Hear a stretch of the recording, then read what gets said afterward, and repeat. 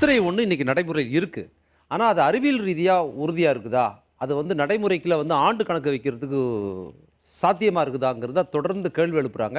உங்க தரப்புல இருந்து அதுக்கான பதில் சொல்லுங்க. சித்திரையே வா நம் வாழ்வில் நம் முத்திரை பதிக்கவா அப்படின்னு சொல்லி ஆயிரம் ஆண்டுகளுக்கு முன்னாடி எழுதின புஷ்ப விதி அப்படிங்கிற ஒரு நூலில் வந்து இந்த வரிகள் வந்து நான் பார்த்துருக்கேன்.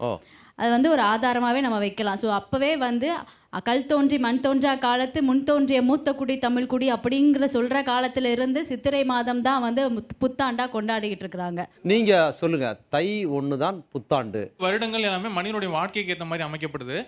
இப்போ வந்து வரவு செலவு கணக்கு வந்து வாழ்க்கையில் ஒரு மிகப்பெரிய ஒரு அங்கத்தை வந்து பெறுதுங்கய்யா. இப்போ வந்து விவசாயம் வேளாண்மை முடியும் பொழுது அதனால கிடைக்கக்கூடிய பலனின் தொடக்கம் தான் தொடக்கம் புத்தாண்டா நான் வந்து பார்க்குறேங்கய்யா புத்தாண்டுக்கு துணி வாங்குறதுக்கே தையில தான் கிடைக்குதுங்க. புத்தாண்டு கொண்டாடுவதற்குன்னு சொல்றாரு. எல்லோருக்கும் மூத்தோலாம் எத்திசையும் எயில் கமந்திட அல்லக்குறைய ஆனந்த் தந்திடும் செம்மதுர செந்தமிழ் மகளின் பிறப்பு சிறப்பாய் முத்திரை பதித்திடட்டும் இந்நிகழ்ச்சியில் ஐயா. சித்திரை ஒன்றுதான் வந்து சிறந்தது என்று நானும் இல்லை நீங்களும் சொல்லியிருக்கீங்க. ஏன்னா இங்கே இங்கே இங்கே வந்து நீங்கள் ஷோவில் வந்து நேருக்கு நேர் தமிழ் புத்தாண்டு சித்திரையா தையா. அப்போ நீங்க சித்திரைக்கு தான் முதல்ல சொல்றீங்க. அங்கேயே நீங்களே முதல முதல்ன்ற அந்த சாய்ஸ் நீங்க அது. இன்னைக்கு சித்திரை ஒன்று அப்படிங்கிறதுனால அதை அதுல இருந்து துவங்கினேன். தை சொல்லியிருந்தா நீங்க தைன்னு ஒத்துருப்பீங்களா முதல்ல? அப்படி இல்லைங்க ஐயா. நீங்க சொன்னதுக்காக தான் நான் இங்க சொல்றேன். சரிதான். நீங்க சொல்லுங்க. இப்போ சிம்பிளாக ஒரு லாஜிக் சொல்லட்டுமா? இப்போ வந்து தமிழர்களுக்கு வந்து எப்போனா ஒரு நாளை வந்து ஆறு சிறு பொழுதாக பிரிச்சிருக்காங்க. ஆண்டை வந்து ஒரு பெரு பொழுதா ஆறு தான் பிரிச்சிருக்காங்க. அப்படி அந்த பெரு பொழுதுல ஃபஸ்ட்டு வந்து எதை நம்ம சொல்கிறோம் இளவேனில். இளவேனில்னா என்ன? மழையும் அதிகமாக இருக்காது வெயிலும் அதிகமாக இருக்குது. அது ஒரு நல்ல தெ- தென்றலாவும் ஒரு வசந்த காலமும். அந்த வசந்தம் எப்படி சித்திரையில் இருக்க முடியும்? நீங்களே ஒரு லாஜிக்காக யோசிங்க. அடிக்கிற வெயில் அவன் அரக்கிருக்கு மாதிரி தெரிஞ்சுக்கிட்டு இருக்கான். அப்படி இருக்கும்போது வசந்தமான காலம் எப்படி சித்திரையாக மாறும்? அப்படி வசந்தமான காலமாக இருக்கிறது தையாக தான் இருக்க முடியும். தை மாசி. அந்த காலத்தில் தான் எந்த மழையும் மழையனால நிறைய பிரச்சனை வராது. வெயில் அதிகமாக இருக்கிற சித்திரையில வந்து. நோயெல்லாம் வருங்கிறீங்களா? நோய் வரல. வெயில் அதிகம். ம். மழை மழை எப்- இப்ப அதுவும் மழையும் வந்த அதிசயம் இல்லை சித்திரையில எனக்கு தெரிஞ்சு போன வருஷம் சித்திரையில வந்து நமக்கு வந்தது கொரோனா வந்தது இந்த வருஷமும் வந்திருக்குது. கொரோனாங்கிற நோயை கைத்தட்டி விரட்டி விட்டுருக்கோமா நம்ம போன வருஷம்? அதான் எனக்கு ஒரு சந்தேகம். இப்போ பாலையும் தண்ணியையும் எப்படி பிரிக்கவே முடியாதோ அதே போல தான் நம்ம தமிழர்களுடைய வாழ்வியலையும் இயற்கையையும் தனியா பிரிக்க முடியாது. அவங்க இயற்கையோடு ஒன்றி வாழ்ந்தவர்கள். தமிழர்களும் இயற்கையும் ஒண்ணா கலந்துட்டாங்க. ஓ. அப்ப இதுல எது பால் எது தண்ணி? அதாவது மனிதர்கள் தமிழர்கள் வந்து பாலா இருக்கும்போது இயற்கை தண்ணியா இருக்கும். சரிதான் இயற்கை வந்து பாலா இருக்கும்போது தமிழர்கள் தண்ணியா அவங்க இருப்பாங்க என்ன சொல்றாங்க? அவங்க என்ன சொல்றாங்க? தமிழர்கள் பாலா இருக்கிறாங்க. அதுல சமஸ்கிருத ஆண்டு சித்திரை ஒண்ணு வந்து தண்ணியா கலந்துருச்சுங்கிறாங்க அவங்க. சித்திரை வந்து பிரகாசமா தொடங்குறாங்க. அதனால சித்திரை முதல் நாள் தான் தமிழர்களுடைய திருநாள். வெளிச்சமா இருக்கிறது தானே புத்தாண்டு? சுற்றி சுற்றி எங்கே வரீங்கன்னா அந்த பிரபவ விபவ அது இதுன்னு வரீங்க இது எல்லாமே இந்து கேலண்டரில் இந்து கேலண்டர் எப்படி இருக்குன்னா இந்த பிரபவ விபவ ஹே விளம்பி இதை சார் இதை சார்ந்து தான் இருக்குது தமிழர்கள் எந்த மதத்தையோ சமஸ்கிருதத்தையோ அதை சார்ந்து அவங்க வந்து ஒரு வருடத்தை அமைக்கணும்னு அவங்களுக்கு எந்த வித இதுவுமே கிடையாது. ஏன்னா தமிழர்களில் இந்துக்கள் மட்டுமல்ல கிறிஸ்துவர்களும் இஸ்லாமியர்களும் இருக்காங்க. இஸ்லாமியர்கள் வந்து ஜமாதில் அல்லால் அதுக்கப்புறம் ஹிஜ்ரி அப்படின்ட்டு ஒரு ஆண்டு முறை பின்பற்றுறாங்க.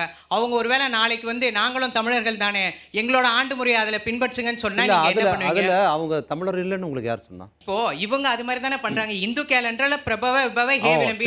அதை எடுத்துட்டு வந்து பொதுவுல சரிதான் இது பின்பற்ற முடியுமா? லாஜிக்கலான கொஸ்டின் நீங்க ஒத்துப்பீங்களா? முஸ்லீம் ஆண்டை தமிழர் ஆண்டா நீங்க ஒத்துப்பீங்களா? இப்போ நாங்க எப்படி பார்க்கறோம் அப்படின்னு பாத்தீங்கன்னா சித்திரையை வந்து ஒரு ஒரு வீட்டு மகாலட்சுமி மாதிரி நாங்க பார்க்கறோம் அதைத்தான் அவர் சொல்றாரு. மகாலட்சுமி இது எல்லாமே வந்து தமிழர்ல வந்து இந்துக்கள் அல்லாதவர்களும் எப்படி ரிலேட் பண்ணுவாங்க? மகாலட்சுமி என்பது நாங்க வந்து எந்த மதத்தை நான் சேர்க்கல. என்னன்னா ஒரு செல்வம் செல்வம் பெருகக்கூடியது ஒரு செல்வம் வருது அப்படி என்பதுக்காக தான் நான் அதை சொன்னேன். இப்போ நம்ம ஒரு செல்வம் வீட்டுக்கு வருதுன்னா போன்னு சொல்ல முடியுமா? அதே மாதிரி தான் சித்திரை என்பது ஒரு செல்வ ஆண்டு.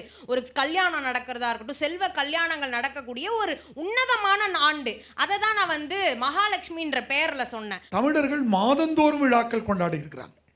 அப்படி இது கோடை விழான்னு எடுத்துக்கலாம். அது ஒன்றும் தவறில்லை. கோடை திருநாள் வாழ்த்துக்கள்னு சொல்லாமல் தவிர இது தமிழ் புத்தாண்டு கிடையவே கிடையாது. இன்னொன்று முடிந்தால் தானே தொடங்கும் அப்படின்றது போகி பண்டிகை நம்ம ரொம்ப கவனத்தில் எடுத்துக்கணும். அங்கே நம்முடைய குப்பைகளையும் கூலங்களையும் எடுத்து போட்டு எரிச்சிட்டு புதியதை தொடங்குறோம். பழையன கழிதல் ஆனா இன்னைக்கு இன்னைக்கு. ஆனா இன்னைய சூழல்ல போகி பண்டிகை ஒரு அதிக பொல்யூஷன் உள்ளது.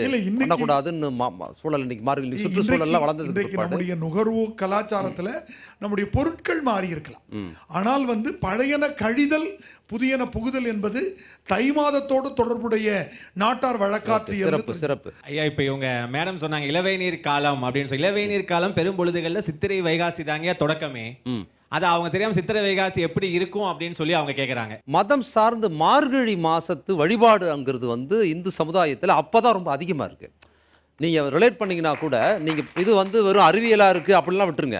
நீங்கள் வெயில் காலத்தில் தான் அது ப- இதாக இருக்கும் புத்தாண்டை கொண்டாடுவோம் இதெல்லாம் கோயிலுக்கு போக முடியும் அதெல்லாம் சொல்கிறீங்கனாலும் கூட ஒப்பீட்டளவில் மிக அதிகமான பண்டிகைகள் கொண்டாடுவது இன்னும் சொல்லப்போனால் மார்க் ஒரு மாதம் முழுக்க போவது அப்படிங்கிறது. இன்னும் சொல்லப்போனால் சமீபமாக ஒரு இருபது முப்பது ஆண்டுகளாக தமிழர்கள் மத்தியில் செல்வாக்கு பெற்றிருக்கிற சபரிமலைக்கு போவது என்பதற்கு கூட மார்கழி மாதம் சார்ந்து தான் இருக்குது. அப்போ நீங்கள் இறை வழிபாடு சார்ந்தது கூட சித்திரை சார்ந்து இல்லை தமிழர்கள் மத்தியில். அது எந்த இறை வழிபாடாக இருந்தாலும் மிக பெரும்பாலும் மார்கழி சார்ந்து இருக்குது. அது ச தை சார்ந்து தானே இருக்குது. நான் ஒரு கேள்வி கேட்கிறேன். அதாவது சித்திரை வந்து ஒரு கோடை விழா கோடை திருநாள் மட்டும் சொல்லலாம் அப்படின்னு ஐயா மதிப்புக்குரிய ஐயா அவர்கள் சொன்னாங்க. நான் என்ன கேட்கிறேன்? தை ஒன்று பொங்கல். சூரியனுக்கு நன்றி சொல்லும் நாள்னு சொல்கிறாங்க இன்றைய சூழ்நிலையில் சம்பா ஒரு ஒரு கணக்கு உள்ள நாளில் பயிர் விளையுது. அறுவடை செய்யப்படுது. குருவை ஒரு நாளில் அறுவடை செய்யப்படுது. கொங்கு நாட்டு மக்கள் இன்னும் பங்குனி பொங்கலை கொண்டாடுறாங்க. சிறுதெய்வ வழிபாட்டில். அப்படி இருக்கும் பொழுது அறுவடை திருநாள் வந்து நிலையானதாக இல்லாத பொழுது கூட இந்த சூழ்நிலைகள் மாறலாம். அப்போது தை ஒன்றை இவ்வளவு புகழ்கிற இவங்க தை ஒன்றில் கல்யாணம் நடத்துகிறாங்க இது தை தைல இந்த கல்யாணம் நடக்குது. தை ஒன்றில் மட்டும் ஏன் கரிநாள்னு சொல்லி அந்த நாள்ல தள்ளி வைக்கிறாங்க.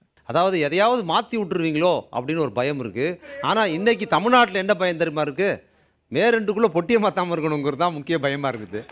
நீங்கள் சொல்லுங்கள் அவர் என்ன சொல்கிறாரு அது விடுங்க. அதெல்லாம் விட்டுருங்க. கரி நாள்னு ஒரு நாளை தைன்னு ஒன்றில் சொல்கிறீங்கல்ல அது என்ன காரணம்னு? கரினா சான்றுன்னு அர்த்தம். அது சொல்லுங்கள் கரி என்றால் சான்று. கரி கூறினான்னா சான்று கூறினான் அர்த்தம். எனவே தை புத்தாண்டுக்கு அது சான்றாக விளங்குகிறது.